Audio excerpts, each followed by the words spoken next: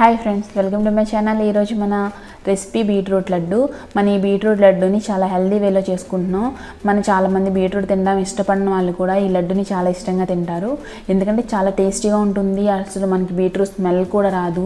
చాలా హెల్దీ వేలో దానిలో ఉన్న న్యూట్రియంట్ వాల్యూస్ కూడా మనకి తగ్గకుండా ఈ బీట్రూట్ లడ్డుని మనం చేసుకుందాం ఈరోజు అయితే మనకి బీట్రూట్ అనేది అసలు చాలా మంచి న్యూట్రియంట్ వాల్యూస్ ఉంటాయన్నమాట. B six and B nine vitamin C potassium manganese iron అలాగే మన బాడీలో ఎక్సర్సైజ్ చేసే వాళ్ళు ఉంటారు కదా వాళ్ళకి స్టామినా కూడా చాలా బాగా పెంచుతుంది. బ్లడ్ ప్రెషర్ని కంట్రోల్ చేస్తుంది. ఇంత మంచి బెనిఫిట్స్ ఉన్న బీట్రూట్తో మనం ఈరోజు లడ్డు చేసుకుందాం. ఈరోజు మన రెసిపీలోకి వెళ్ళే ముందు నా ఛానల్ని సబ్స్క్రైబ్ చేయండి. బీట్రూట్ లడ్డు ప్రిపరేషన్ కోసం రెండు కప్పులు బీట్రూట్ తురుము తీసుకున్నాను. అలాగే మనం జాగరి నేను ఇక్కడ వన్ కప్ తీసుకున్నాను. మీరు హాఫ్ కప్ నుంచి వన్ కప్ వరకు మీ టేస్ట్ని బట్టి తీసుకోవచ్చు. అలాగే బొంబాయి రవ్వ కూడా హాఫ్ కప్ నుంచి కప్ వరకు. మీ టేస్ట్ ఎలా చేసుకున్నా బాగానే ఉంటుందన్నమాట. తీసుకోవచ్చు. అలాగే ఒక హాఫ్ కప్ నెయ్యి తీసుకోండి. అలాగే మీకు నచ్చిన ఏవైనా డ్రై ఫ్రూట్స్ చాప్ చేసి తీసుకోండి.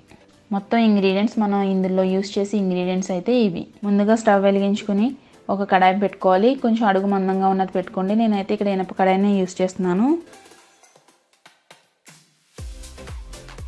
ఇందులో మనం తీసుకున్న నెయ్యిలో ఒక సగం వేసుకుని ఇంకొక సగం తర్వాతకి పక్కన పెట్టుకోవాలి.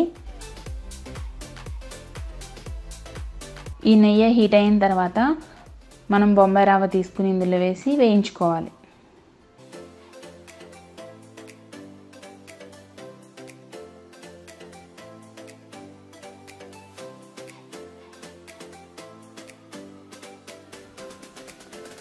మనం బొంబాయి రవ్వ మరీ గోల్డ్ కలర్లోకి ఏం చేంజ్ అవసరం లేదు. జస్ట్ అందులో పచ్చివాసన పోయి లైట్ గోల్డ్ కలర్లోకి చేంజ్ అయితే సరిపోతుందన్నమాట. అయితే ఇప్పుడు మనం ఫస్ట్ డ్రై ఫ్రూట్స్ వేయించేసుకుని బొంబాయిరా వే తర్వాత వేస్తే ఏమవుతుందంటే డ్రై ఫ్రూట్స్ ఆల్రెడీ వేగాక మళ్ళీ మాడిపోతాయి. అందుకని ఫస్ట్ బొంబాయి రవ్వ మనం వేసుకున్నాం.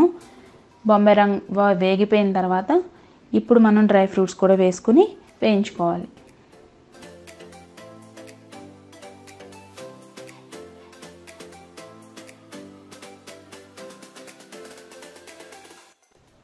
ఇప్పుడు మనం ముందుగానే తురుము పెట్టుకున్న బీట్రూట్ ఉంది కదా ఈ రెండు కప్పులు బీట్రూట్ని కూడా మనం ఇప్పుడు ఇందులో వేసి అది కూడా వేయించుకోవాలి.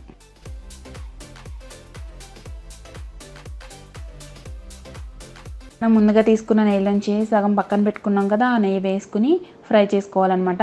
ఎందుకంటే మనం బీట్రూట్ వేసిన తర్వాత మనకి నెయ్యి క్వాంటిటీ తగ్గుతుంది. అప్పుడు వేసుకోవడం ముందే మనం వేసేసుకుంటే బొంబాయి రవ్వ మొత్తం చేసుకుని మనకి బీట్రూట్ వే ఫ్రై చేసేటప్పుడు నెయ్యి సరిపడి ఉండదు. కాబట్టి అప్పుడు హాఫ్ వేసుకుని ఇంకొక హాఫ్ ఈ బీట్రూట్ ఫ్రై చేసినప్పుడు వేసుకోవాలి. చూడండి బీట్రూట్ ఇలా పొడిగా వేగిపోయిన తర్వాత మనకి పచ్చివాసన కూడా పోతుందన్నమాట. ఇప్పుడు మనం ఇందులో బెల్లం వేసుకుందాం.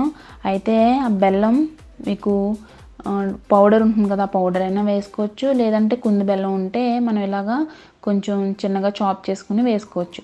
ఈ బెల్లం అనేది హాఫ్ కప్ నుంచి ఫుల్ కప్ వరకు తీసుకోవచ్చు. అంటే మీరు తినే ఇష్టాన్ని బట్టి. ఆల్రెడీ మనకి ఇందులో కూడా స్వీట్నెస్ ఉంటుంది కదా బీట్రూట్లో కూడా. కాబట్టి హాఫ్ కప్ అయినా కూడా సరిపోతుంది. లేదంటే ఫుల్ కప్ అయినా వేసుకోవచ్చు మీ ఇష్టం. వేసుకొని అది కరిగే వరకు కలుపుకోవాలి.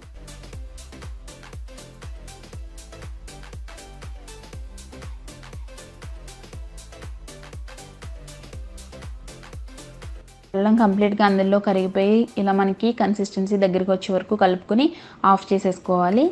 ఆఫ్ చేసుకుని చల్లారిన తర్వాత మనం ఇలా లడ్డూలుగా చుట్టుకుంటే మనకి లడ్డూలు రెడీ అయిపోతాయి. రెండు ఫ్రెండ్స్ ఎంతో టేస్టీ అండ్ హెల్దీ బీట్రూట్ లడ్డూలు రెడీ అయిపోయాయి.